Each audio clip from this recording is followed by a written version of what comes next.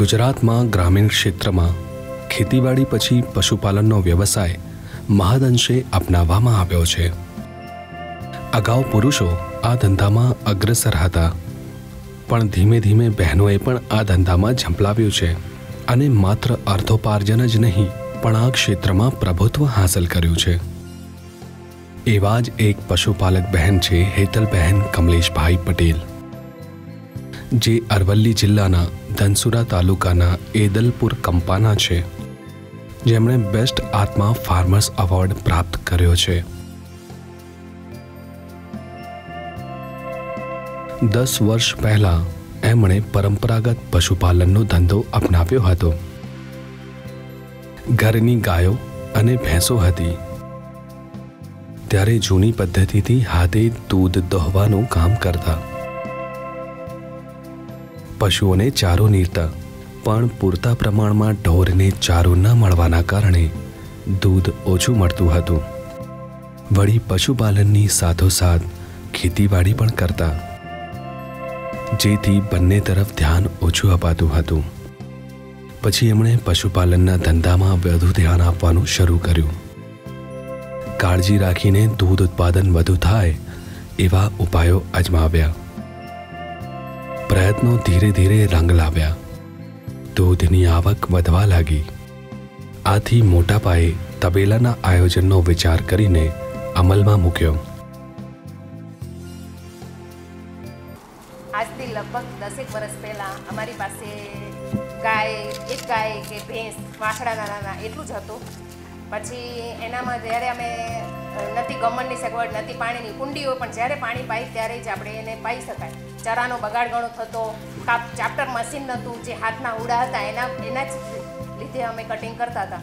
એના પછી અમને જે આત્મા પ્રોજેક્ટમાં જોડાયા પછી સાહેબો જે તાલીમ અપાવી અમને, એના પછી જે ગાયો પશુપાલનના વ્યવહારમાં અમને જે ફાયદો થયો એ કે ગમણ કરી, કે પાણીના કુંડા કર્યા ઓટોમેટિકલી જે પાણી પીએ. અને જ્યાં બાંધેલું હોય ઢોર, ત્યાં જ પાણી પી શકે અને ત્યાં જ એનો આવક થઈ શકે. અને ચાપ્ટર મશીનથી જે ચરો કાપીને નાખ્યો, એના પછી ગમણમાં બગાડ પણ ઓછો થયો. ડેરીના સહયોગથી ડેરી પ્લસ યોજના અંતર્ગત લોન લીધી. નવી સાત ગાયો ખરીદી. વધુ ઉત્પાદન કેવી રીતે થઈ શકે? તે માટે આત્મા પ્રોજેક્ટના અધિકારીશ્રીના સંલગ્ન રહીને પ્રેરણા અને માર્ગદર્શન મેળવીને માહિતી મેળવી.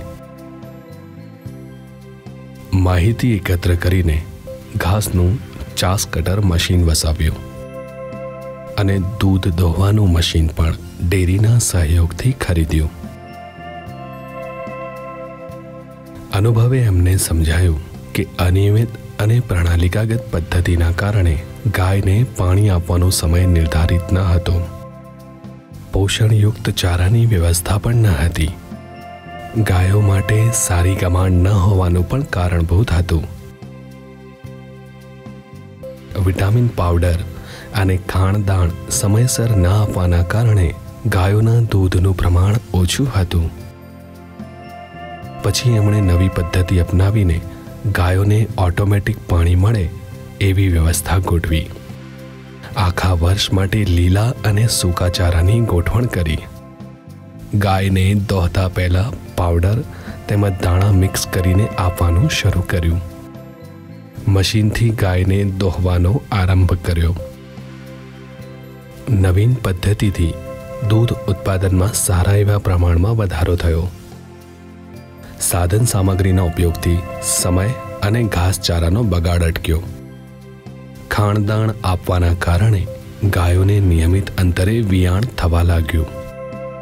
ગાય છૂટી ફરવાથી બાવલાનો રોગ અટક્યો અને ગાયોએ વધારે દૂધ આપવાનું શરૂ કર્યું.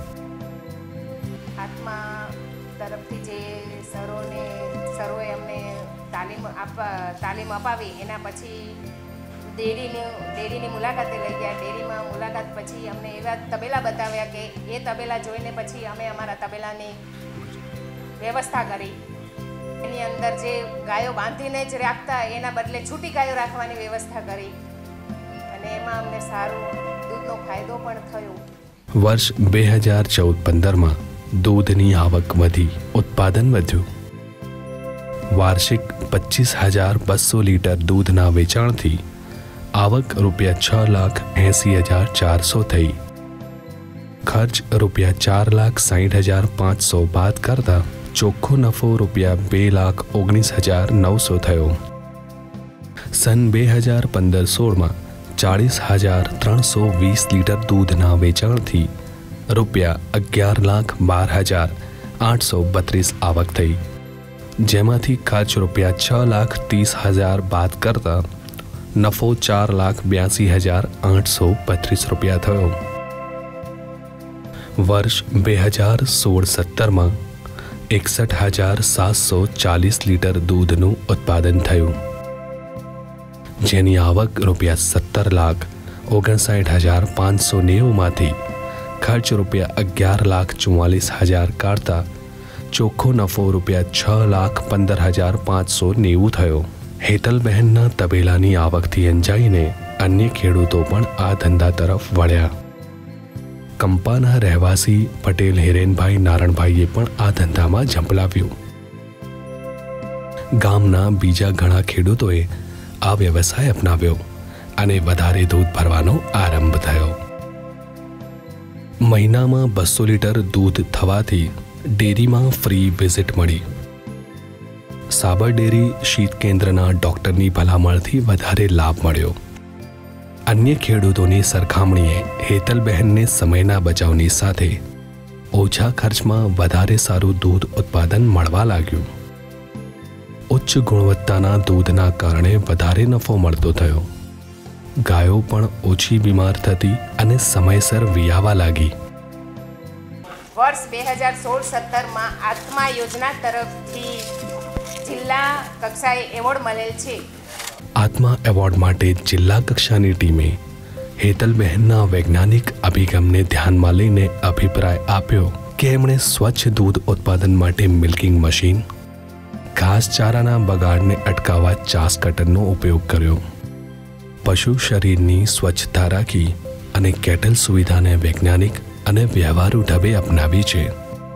આમ જિલ્લા કક્ષાએ બેસ્ટ આત્મા ફાર્મર્સ એવોર્ડ માટે હેતલબહેનના નામની ભલામણ થઈ અને એમને આત્મા એવોર્ડ મળ્યો.